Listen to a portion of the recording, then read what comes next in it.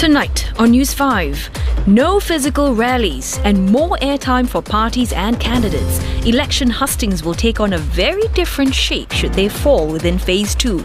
Plus, counting down the hours till Phase 2 begins, a look at the preparations underway for the next step of reopening. The full stories and more at 9.